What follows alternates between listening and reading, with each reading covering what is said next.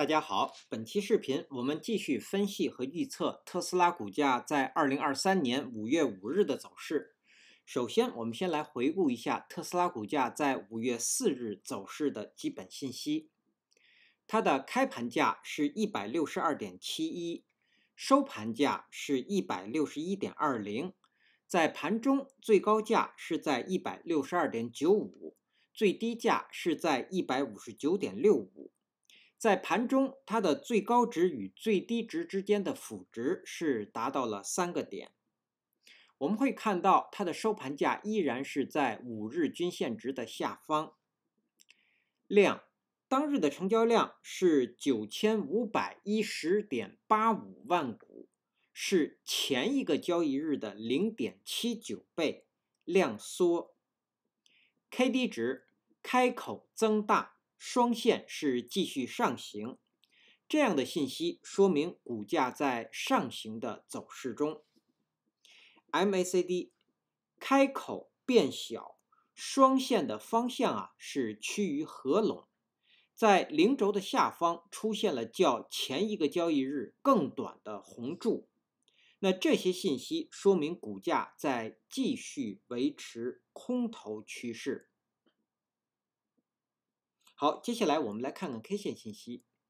在五月四日生成的这根 K 线叫做含下影线的小红 K 线，它是一根下跌的 K 线。那它所处的位置是在股价的横盘中。那当日的这根 K 线，我们会看到在上方是五日均线值的上限遇到了压力。我们先调出辅助线。那么这根红线是我们前一个交易日给出的日内的观察线，是五日均线值的上限。那我们会看到股价在一百六十三附近遇到了压力，没有能够突破，然后收盘价是收在了五日均线值的下方，这说明上方是有压力的。然后我们会看到这根 K 线是带有下影线的 K 线。那说明下方又有支撑，那当日的成交量呢又呈现的是量缩，所以在五月四日生成的这根含下影线的小红 K 线，它是一根休息的 K 线。那目前股价在等待突破。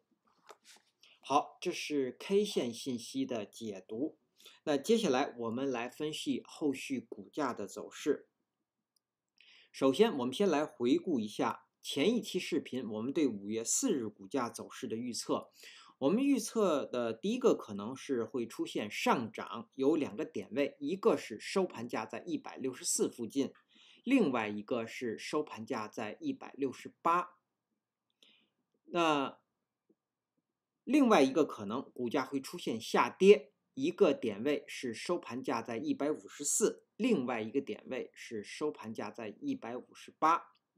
实际在五月四日收盘价是在一百六十一点二零，出现了小幅的上涨，或者我们也可以把它称为是横盘向上。那我们刚刚从 K 线信息解读，这是一根休息的 K 线，那股价是等待。突破，所以接下来我们先来看股价的下行。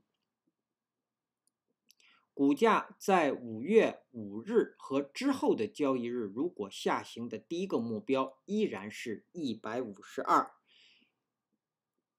跌破一百五十二，就是要维持自二月十六日以来的头头低底底低的空头趋势，这是第一个目标。那第二个目标就是下方的一百三十八，一百三十八是一月二十五日这一波起涨的起涨 K 线的最低。嗯，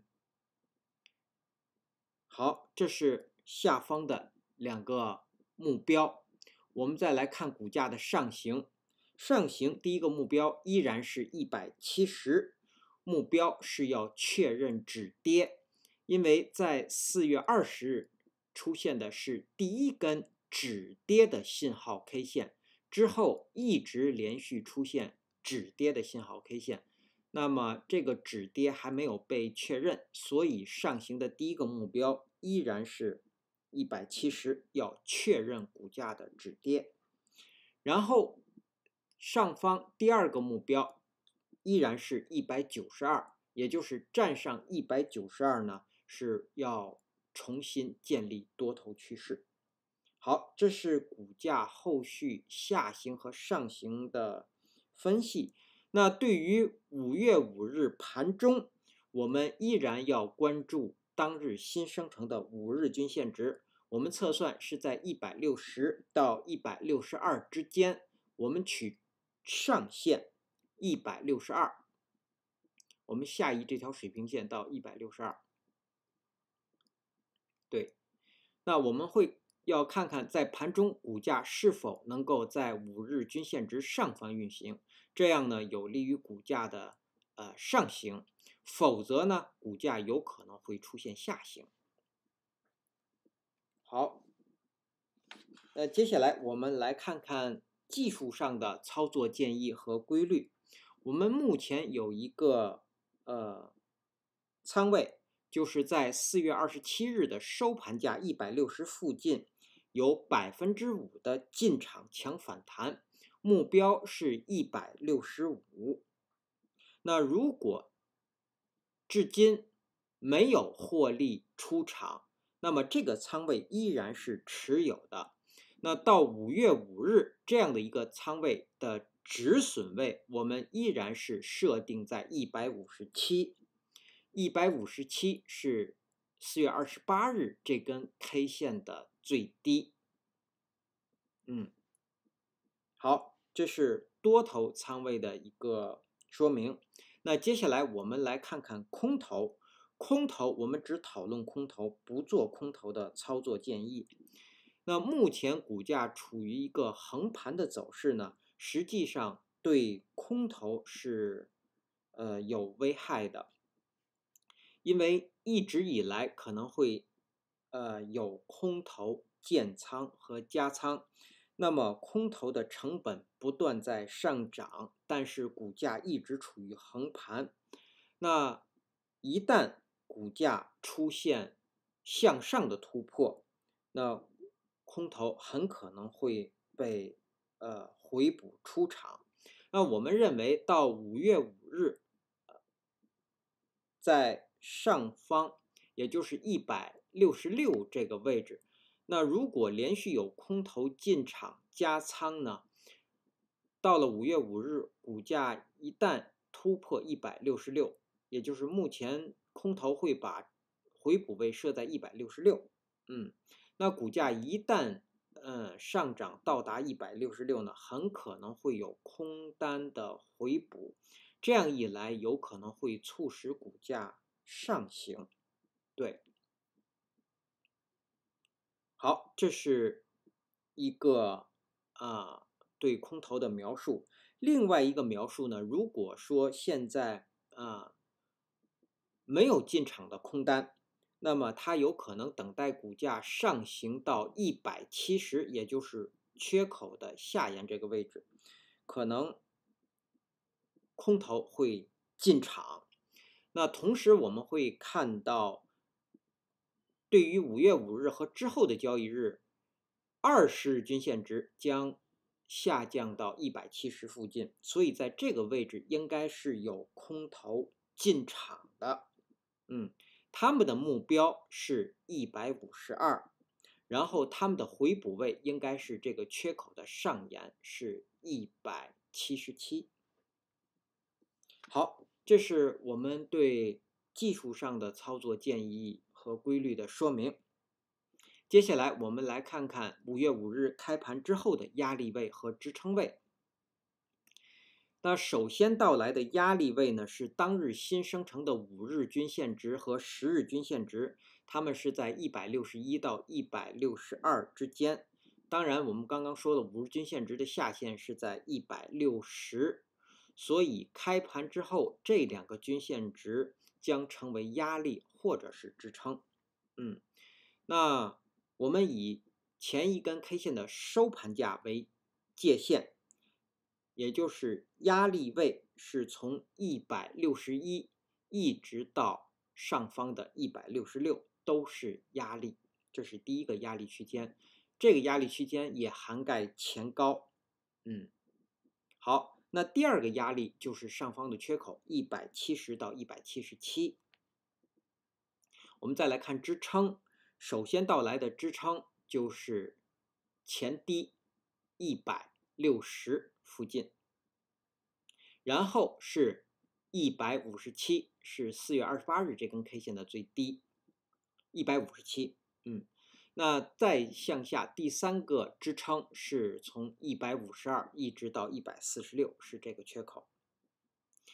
好，那基于以上这些信息的解读和分析呢，我们给出五月五日股价走势的预测。第一个可能，我们认为股价会出现横盘。如果出现横盘，它它将是一个高开盘，然后股价最低会回踩到一百六十一。上方最高会到达一百六十四，然后收盘会收在一百六十二附近。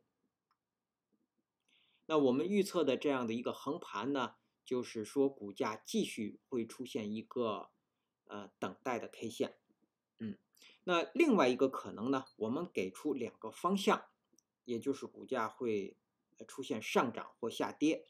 如果是上涨，它有可能是一个小幅的低开盘，然后股价最低会回踩到一百六十点五，最高上方会到达一百六十九，然后收盘会收在一百六十七附近，在这个位置，嗯，那它的条件呢是。在盘中，股价最高要到达一百六十九，才有可能出现收盘在一百六十七的上涨。那这个方向呢？我们预测，呃，股价会出现低开盘之后呢，在这个地方出现一根实体长绿 K 线。